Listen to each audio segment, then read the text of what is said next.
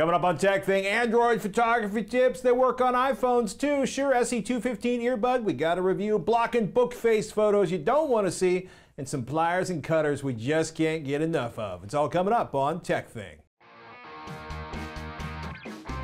Thank you, patrons. Without your support via patreon.com slash tekthing, we wouldn't be able to make the show for you each and every week. Join the crew that makes TekThing possible at patreon.com slash tekthing. Thanks. I'm Shannon Morse. And I'm Patrick Norton. And this is TekThing, where we have something useful in every single show. Yes. Yes, we do. We're going to take a virtual trip to the library today. Are we really? Well, we'll talk about that later in the show. That sounds fun. Turns out there's yet another random thing that now shows up in Google search mm-hmm. because Google is slowly indexing everything on the planet. Every little thing. So what have you been up to lately? I'm drilling holes in my house. Oh, really? Well, it turns out hmm. when you are testing mesh networking equipment and you decide to relocate the primary mesh devices to the center of your house and you drag a cable through your house because expedient, um, you create a lot of issues. Oh. For the oh. family. Also, the fact that I needed to run another cable so I could still run all of the stuff that's normally connected yeah. to the switch to the, the hub or the router in the closet. So those mesh networking things I said would be here today, they'll be here next week, but I'll still be married. which is good because nothing complicates. I'm tired of waiting, Patrick. I'm uh, ready for this mesh networking awesomeness. There's so much mesh networking. All the mesh. Let us see the things. I will. Okay. Next week. I'm holding you to it, man. As well, you should. It's it, it's. we'll talk about it. Okay, cool. Anthony reached out to askatekthing.com. Well, I think it was askatekthing.com. In any case, Anthony wrote, Hi, Shannon. I know you're into professional photography and was wondering, could you give some advice on the best settings or Android apps to use for smartphone photography? I read that we should use 4x3 instead of the 16 by 9 aspect ratio for images, but what's your advice on this and any other options? Any tips would be welcome. I'm using the HTC 10. Thanks, Anthony. Okay, so first off, your phone comes with some really awesome camera specs. So I think that you're good there. Yeah. Uh, you have a 12 megapixel, it's a 1 by 2.3 inch sensor with 1.55 micrometer pixels in size. It packs an f1.8 aperture, Not optical image stabilization. Yeah, and the stabilization is great for that. It also supports, and get this, raw photography, 4K video, 720p 120 fps slow motion video and he has a 5 megapixel front camera with the same thing OIS and f1.8 aperture. The pixels are a little bit smaller in this point. It's f it's 1.34 micrometer pixels in size density. So the built-in camera app allows you to take different photos in 4 by 3 or 16 by 9. Now if the HTC is anything like my Pixel XL, taking photos in 4.3 or 4 by 3 allows me to take full advantage of the 12 megapixels. Mm -hmm. But when I switch to the larger ratio of 16 by, by 9, does it you like know, letterbox? You know it what just happens? cuts off the Basically, yeah, it drops down to 8.3 megapixels. All so I lose pixels. some of those megapixels when I go to that 16 by 9 aspect ratio, which is why people recommend 4 by 3, even though I personally mm -hmm. think that 16 by 9 is more pleasing to the eye aesthetically.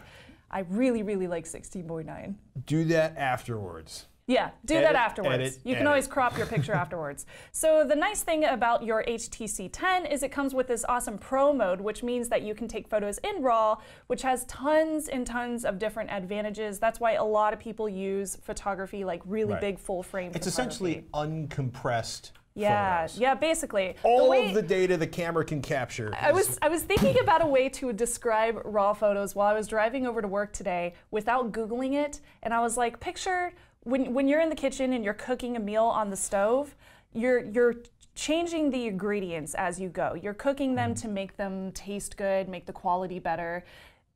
Those are raw pictures.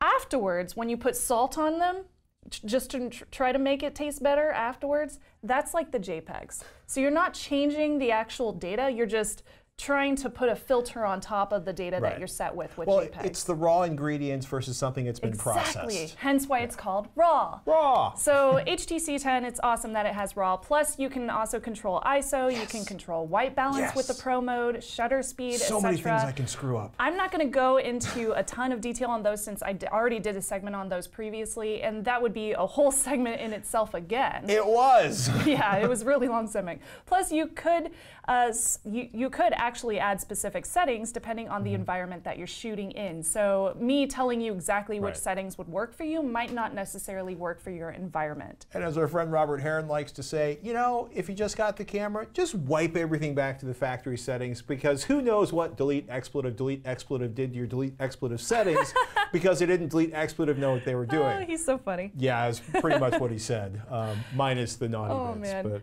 so there's a whole bunch of different applications that you can actually use with Android. Uh, the first one I'll recommend is called VSCO it's or awesome. VSCO. Yeah, both of us have used it previously. I'm currently using it. It's very popular for Instagrammers especially because it offers a wide range of settings that you can play around with to edit your photography. So it also has a built-in social network of sorts so you can find and follow other photographers from around the world. If you're into that kind of thing, personally, I don't need another social network, so I just don't use that part. Uh, it does look look like RAW is currently not available in Android, though they have added support in iOS devices in a recent update. So anybody out there with iOS, you can now use RAW support in VSCO, which is great. So a lot of people really recommend VSCO. I know Patrick has used it as well a ton. Yeah, I was actually about to pull it up on my phone, but of course my phone is logged into the wrong network and Reflector won't show up. But it's, it's, it is, it is, I've used a half dozen different professional or prosumer yeah. or advanced applications, and uh, VSCO, VSCO is one of the only really ones good. that's not insanely frustrating. Now, if you do want to focus on raw photography, which I highly suggest that you mm-hmm. do, another one that you can check out is called Snapseed. I don't have this installed on my newest phone, as you can see, because I had to replace my Pixel XL yet again. But this one includes lots and lots of fine tuning in applications for editing photos, including a healing brush, HDR settings, a glamour glow, which basically brightens up your skin in Don't a photo. well, you can if you feel like it's like 1980 again. White balance, etc., etc. You can also undo and then redo edits in case you screw up, which is really useful. Control Z. Exporting is also built in so that you can send a finished photo to your favorite sharing app, like Instagram, for example. So it has a lot of those settings built in that uh, you would probably use if you are editing raw photos. And the last application that I want to recommend is Lightroom, which is my personal favorite. I love using Lightroom for like everything. Not last because she doesn't want you to use it, but last because it is the end all and be all of yeah, pretty much is. And photo editing. well, this you, one is do you, hardcore. Do you edit with it, or do you capture with it and edit with I it? I edit with it. Okay. I don't capture in, in the app at all. Okay. I don't edit in, or I don't capture in any editing apps, mm -hmm. uh, just because I prefer to use the default photography application that's mm -hmm. that comes built into my camera. I figure that's probably best, but you totally can if you want to. I just I think with the HTC 10, given that you have the Pro options in your default camera app, you probably don't have to change to an additional one. But these are all just specifically for editing those photos after Aftermath. So this is the link to download Adobe Photoshop Lightroom. Uh, this one is also free as opposed to their desktop version. This one also supports RAW. It also has all those built-in editing features like you have selective editing for different specific areas of your picture. You have HDR, you can change the white balance, add tonal curves to change the color settings. And best yet, and this is personally why I use it a lot, you can sync across multiple devices if you also use Lightroom on those other devices. So if you do pay for Lightroom on the desktop, you can sync your edits from your phone oh, wow. to the desktop, which is so cool because then I can do the same exact edits on Lightroom on my desktop. Or have That's them awesome. already done for you? Yeah, or yeah, it's going to sync oh, all wow. your edits, which is so cool. Does I just love it. Does it sync all the photos too? Uh, I'll have to check on that. Okay. I'll have to check. But um, if you have already bought the Lightroom software, I believe right. sometimes you can get a sale for it for like 100 bucks. It is very expensive software, but if you are into photography, it's kind of worth it. It's a pretty amazing tool. Yeah. All right. But there is no point in editing a photo if it's shoddy to begin with. So some beginner photography tips, and Patrick will be our demonstrator. First off, hold your phone up to your chest for yeah. support or to your eyeballs for support. Uh, try to use a tripod if possible. That way you're not going to end up with janky yeah. photos when you're trying to take something that's a still shot, especially if you have an action picture. The brighter it is outside, the less critical this is. But as soon as yeah. you're like, I'm going to get a picture of Toby at the birthday party, and there's going to be one candle in a giant dark room. Like if you hold the picture like this, or the camera like this, right? But if you, you pull your elbows in and hold the camera, mm -hmm. it's a much more stable much, platform. Much more steady. Or better yet, get down on a solid surface, yeah. or better yet, like when I'm doing of night course, photography. Don't, don't, stick your photos in front of the lens like Patrick was doing just now. Well, you know, the uh, but also like if there's you know if there's a if the top of a car, a telephone pole, a light, yeah. the bar, a bar stool, a wall, anything you can lean the camera up against to minimize the motion is going to make your life so much easier. Yes when you're photographing in a dim or dark situation. Totally. Uh, and also don't use the flash, just add brightness in the raw edit. Right. Or you could also have a friend turn on their flashlight from some other angle. That way you don't blow out any faces if you're taking pictures like that because the flashes Bad. on camera Better. phones are not good at all. They're terrible, yeah. and they make everything look completely washed out. Line up your horizon for a straight shot, especially if you're taking pictures of something like the ocean or something mm-hmm. like that. That way, d- it doesn't look kind of janky and tilted to the side. I tend to hold my phone kind of like this, so I have it turned on so I can see the exact uh, uh, the the exact yeah. horizontal line that it should be at, so that it doesn't end up tilted, which is so annoying. Of course, you can usually adjust that in settings afterwards. But why capture something you know you're going to have to fix later if yeah. you can just shoot it horizontal. Just shoot time. it straight.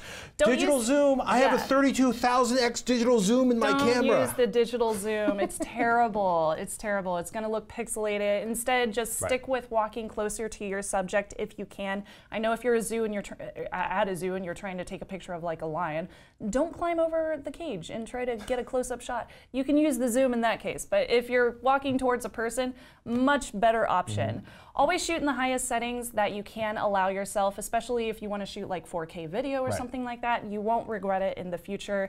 But of course, it kind of is in relation to your storage needs. So if you have a 32 gig phone, you might want to do 1080p instead of 4K.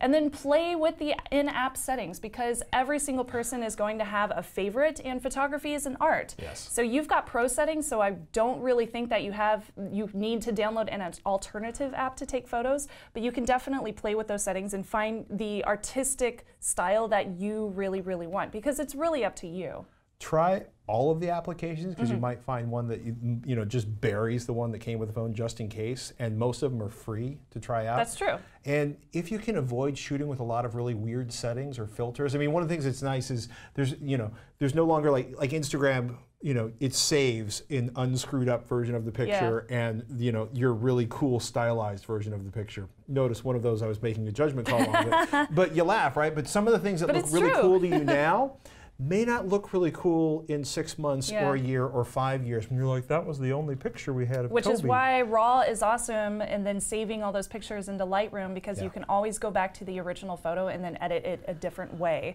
Uh, you might also want to check out lens additions once you get used to the settings in your application. For example, Photojojo. They have a whole bunch of really cool lenses that are magnetic, and they are mostly marketed towards iOS users, but Photo you can Jojo also can use be them really with expensive really quickly. yes, they, they are. So I would highly suggest getting used to your own settings before you end up buying lenses. I haven't bought any lenses in a very long time for my phone because I don't need them. But you might find that you are really into like macro shots. So you might want to look into yeah. that in the future. I mean really expensive in the sense that they just have giant piles yeah. of awesome and cool stuff. The, the lens is also, you know, you might think like it's a telephoto lens. It's going to get me like five times closer. Yeah. We've talked about sort of the difference in, in the lens length versus what you actually see on mm -hmm. the mm-hmm. camera. Yeah. Like the macro lenses and some of the wide angle lenses do a pretty good job on cell phones. Most of the telephone telephoto ones, unless they're actually adapting a legit giant telephoto lens to your phone, are going to be kind of disappointing. Although they yep. may they may double, sort of have the you might have distance. good luck. Yeah, yeah. It, it really just depends on whichever lens you buy. Uh, I would love to see some of your work. So of course, if you do have a public-facing Instagram, I would love to check it out. I love following other photography enthusiasts, especially cell phone ones, because hey, why not?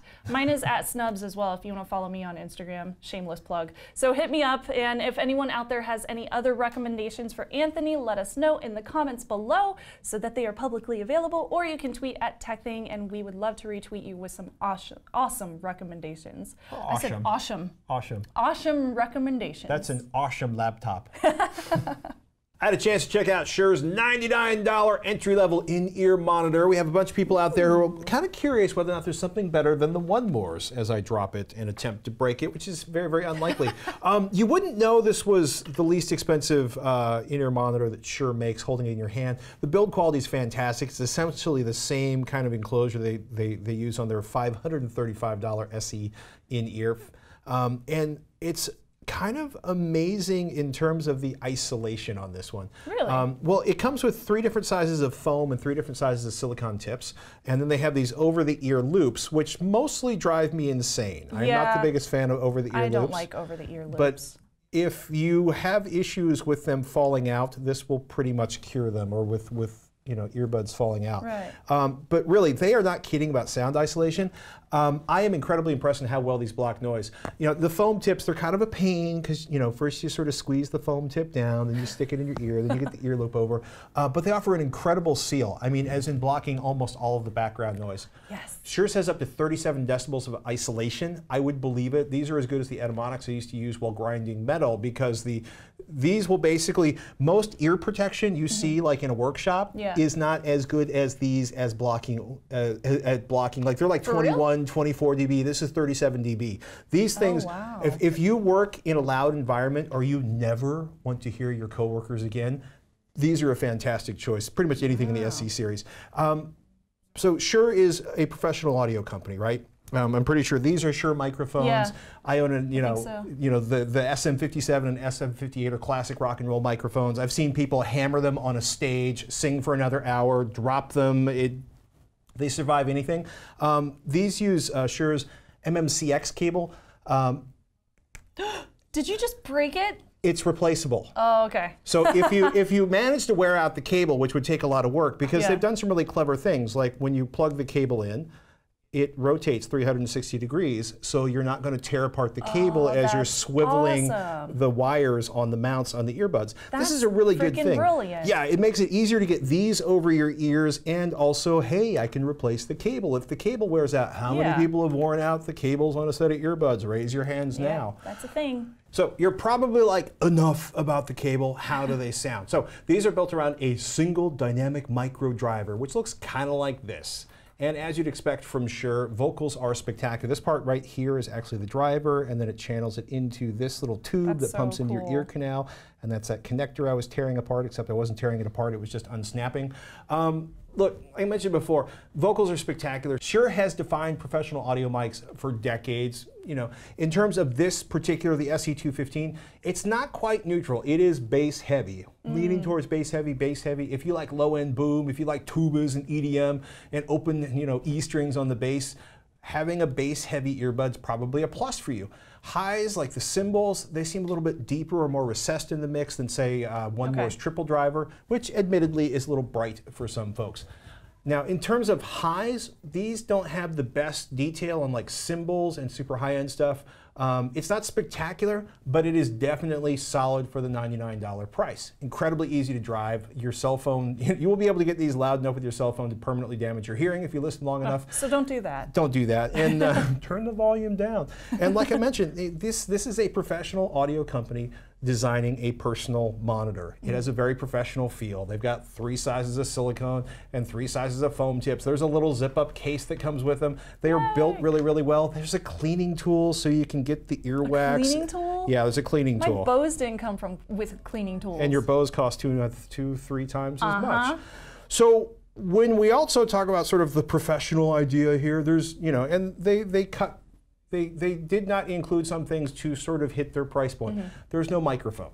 There's no volume or playback controls in the cable. If you're into that kind of thing, yeah. you can actually order a cable with uh, microphone and uh, uh, uh right, remote it's control. Replaceable. Exactly. It's 30 bucks. Okay. And then if you want to get really crazy, they have compatible cables, uh, the Bluetooth enabled remote plus mic accessory cable, which is $99. They have a lightning cable, which is $99.99. Um, and before you're like, why would I buy a $100 cable for a $100 set of earbuds? Well, these cables are compatible with a bunch of earbuds that cost up to like 550 or $600. Wow. I'm going to say $550. So it's, it's the same technology being used in a much more expensive earbud. That's cool. So, good sound, yes. Cool. Great build quality, Absolutely. Okay. Amazing job blocking background noise. Seriously, one of the best I've ever heard. Will they replace 1MORE's triple driver as my favorite $100 in ear? No, because I want a little bit more cymbal. I want a little bit less bass. And because in my particular situation, I am constantly having to pull the earbuds in and out. Right. And these So the over the ear thing would probably bug you, huh? they would drive me a little bit nuts. Yeah, And okay. and having to sort of like, you know, if I was working for extended periods of time or leaving them on for hours or working in a loud workshop, or if I didn't want to use active noise cancellation, was on planes for hours at a time, um, these are outstanding. I feel like I might like them then because I'm a bass head. You would like these a lot. you should make sure to try these before they go back to Oh, I will. So seriously, uh, for my ears, I want something a little bit easier to get in and out, Mm-hmm. but very, very high marks for the SE215, especially if you want to block out everything in the office or the workshop. Very cool. By the way, if you're out there going like, how about something that's like 20 bucks, 25 bucks? I'm going to send you to the ever so awesome Lauren Dragan over at the Wirecutter because, well, they've listened to everything. Lauren has more experience listening to headphones than anybody I know. Mm-hmm. Quote, after researching hundreds of earbuds in this price range, seriously considering 244, testing 108, 68 in the last two mm. rounds, and 40 in this round. Well, they have a pick, but I'm going to send you to the Wirecutter to find out what it was because they worked really, really hard to find an amazing $25 in-ear monitor. Yeah, they do some Link in the show amazing work over there at the Wirecutters. So. And they redesigned their website. I noticed. Yeah, that's surprising. It hasn't been redesigned in a while. The best earbuds under $50. I'll tell you now, they cost 25 bucks. what could it be? And they had Which to listen one? listen to another 48 earbuds for this last roundup. Wow, We do not have those resources. that is nuts. They do. Yes, they do. great ears. we mentioned it last week. We got a new build video up for our patreon.com patrons. That's patreon.com slash tekthing. Becoming a patron gets your name on our wall of thanks or listed in the show. We even do monthly hangouts with folks in the $10 and up tiers. You get to hang out with Shannon and I for a while online. We got more patron treats coming. And hey, we love your questions, even if you aren't a patron. Email ask at tekthing.com. And we've said it before, if you hate email, tweet at tekthing, at snubs, or at Patrick Norton, or post on facebook.com slash tekthing, or message us. And if you could spare a moment or two to give our video the thumbs up on YouTube, like our Facebook page, or tell a friend about the show, we'd be grateful. And as always, patreon.com slash tekthing is your way to help keep the show ad-free and get your eyes and ears on special content that only goes out to our patrons. Patreon.com slash tekthing. My friend Daniel is in studio right now. Hi, Daniel. I've known Daniel forever, approximately. I've known Daniel for longer than we were alive before we met each other. I think y'all met around the same time I was born. Yeah, give or It's take. been a while. a month here, a month there. The uh, but he was saying something like this. Shure sounds amazing to him because he commutes in the subway system of New York City, which much like the BART system here in the East Bay, It gets loud. screeches and Yeah. howls and measures fantastically loud on a dB meter if you carry one on the train because you're a freak. so yeah, there are a lot of reasons to have an earbud that seals incredibly tightly.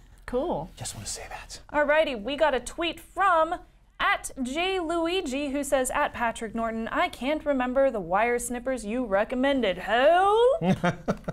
That's exactly how he tweeted it too.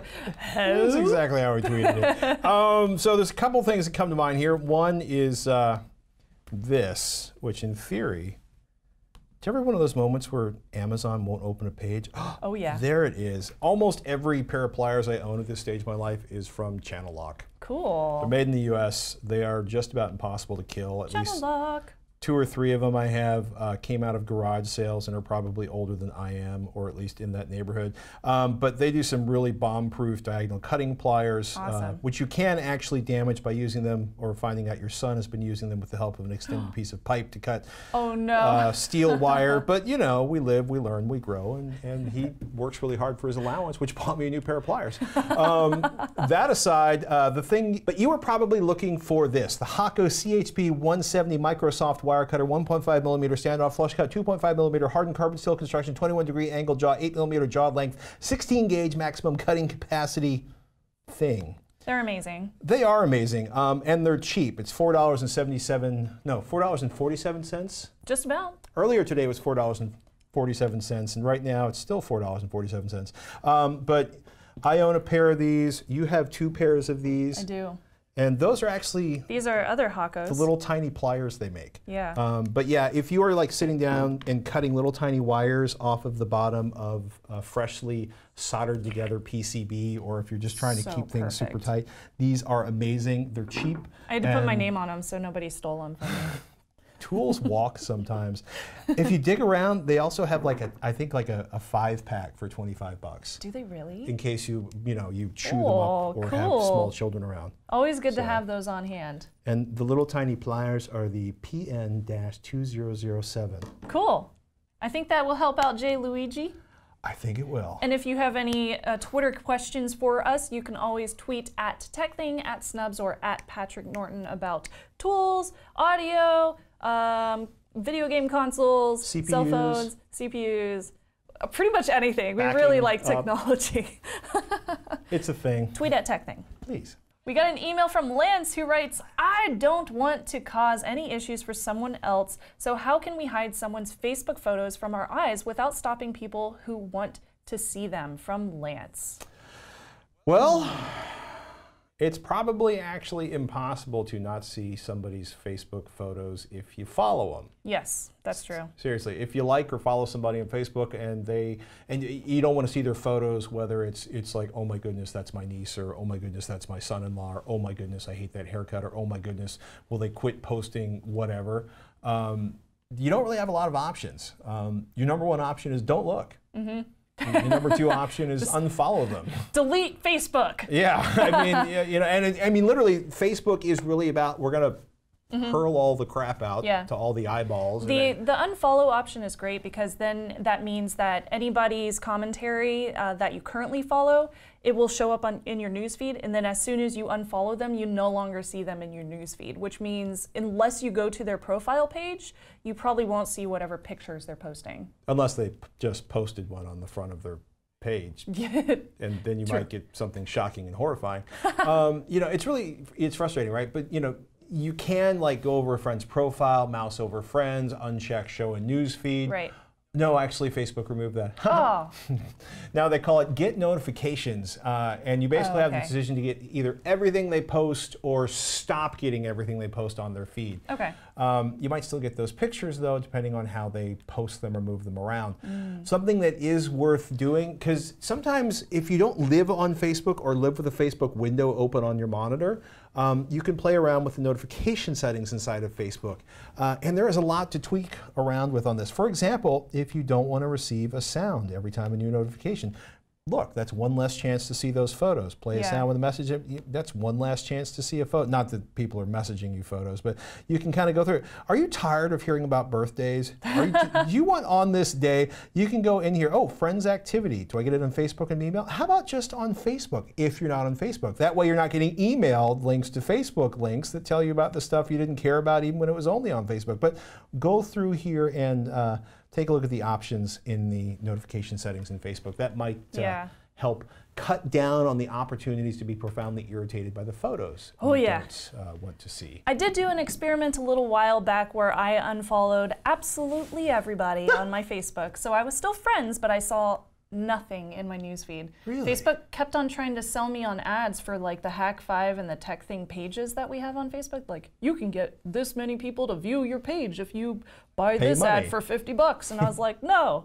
But I didn't see anybody's updates. And it was But you still, it, it- you were still liking I was still friends. them. I was still friends liked. with them. Yeah, I still liked them. I was still friends with them. But the only way I could see what they were doing was by going over to their profile page and seeing it. And by unfollowing everybody in my newsfeed, I know a lot of people will be like, I can't do that. But if Mm-hmm. you can separate your friendships from the Facebook company, then you can save yourself so much time every single day. And I Mm-hmm. save myself like 30 minutes to an hour every day. And that says a lot about not only my addiction to social networks, but also how much time Facebook takes away from our human interactions. Don't feel bad because some of the smartest people on the planet and three of the largest AI centers known to all humankind operating on three different continents with a Mm-hmm. fourth, I believe, about to open are all dedicated to making you behave like me Yep. in a liquor store circa 1989. There you go.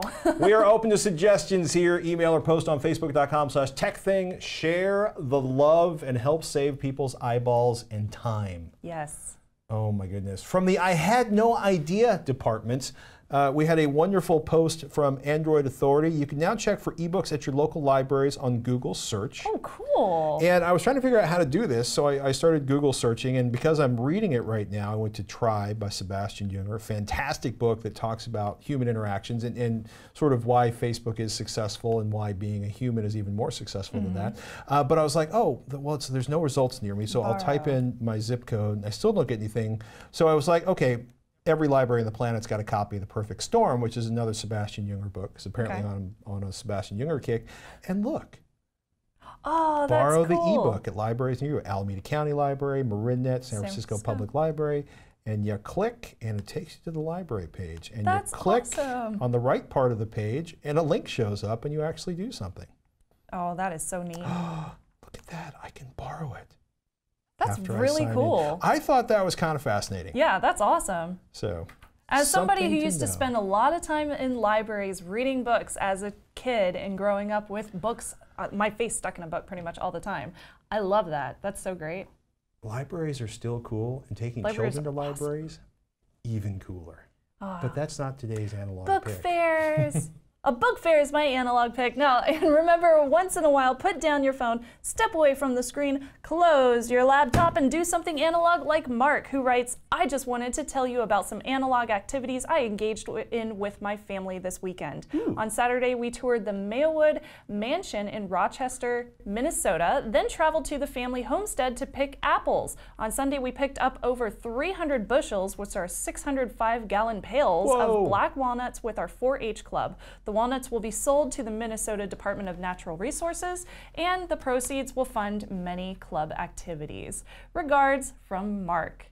Oh, that's so cool. That's awesome. Yes, thank you so much, Mark. So Sarah and myself and the boys went apple picking this weekend. We only oh. pulled out about 60 pounds of apples. I'm jealous. 300 bushels of walnuts is amazing. That's awesome. Way to go. Yes, thank you so much for writing us, Mark. And if anybody else has an analog pick, you can always tweet those at snubs at tekthing at Patrick Norton. You can send them over to us with the hashtag analog, hashtag tekthing, or you can email us, which is the easiest way with a picture, ask at tekthing.com just send us an email. You, are bored, send us an email. you want to play a video game? Send us an email. Those are the easiest, so we can bookmark them. They use them in future episodes. Ladies and gentlemen, I'm Patrick Norton. I'm Shannon Morse. We'll see you next week on TekThing.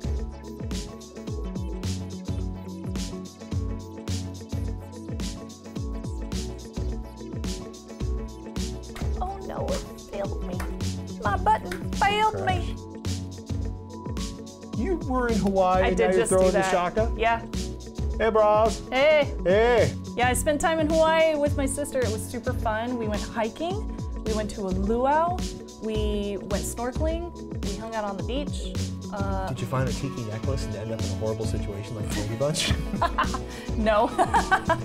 or Phineas uh, I saw Ferb. a giant sea urchin while I was snorkeling. It was about about that big. So maybe it's not giant, but it was bigger than That's my head. That's a pretty big sea urchin. It was big. By my standards. It was real big. Did you see any I looked down and I was like, where's my GoPro? How do I, ah, I'm panicking because I didn't want to get stung, obviously. So I was just like there with my well, knees up to my chest. yeah, that's a pretty It's like, I can't go down there. Uh, recording. Ooh.